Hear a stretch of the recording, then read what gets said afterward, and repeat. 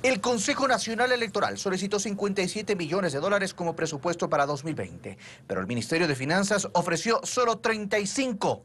Y con ellos, el organismo tuvo que determinar prioridades en lo que llaman el plan operativo. Una de ellas, el pago a los funcionarios, que implica 21.6 millones de dólares. Se está trabajando conjuntamente el Ministerio de Finanzas, Ministerio de Trabajo y Consejo Nacional Electoral para reorganizar este, este tema, porque no es posible que en el Consejo Electoral la mayoría de sus funcionarios sea de contrato. Los 1.015 funcionarios del organismo están divididos entre planta central y delegaciones provinciales.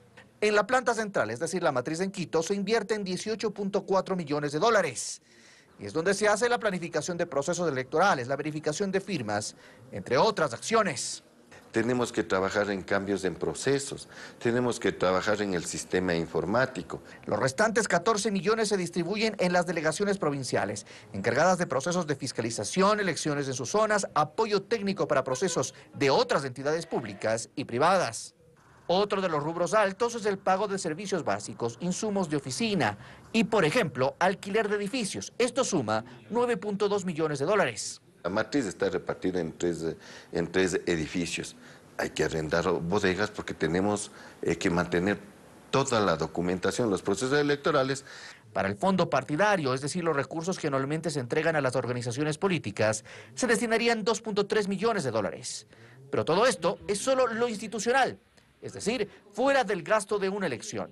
Por lo que para los comicios de 2021 se requerirían cerca de 170 millones de dólares exclusivos de un proceso electoral. Dígase contratación de, documentos electorales. Eh, generalmente se ha contratado un data center alterno, contratación de personal. Este presupuesto para los comicios ya lo conoce el Ministerio de Finanzas, que tendrá que definir si lo confirma o lo reduce.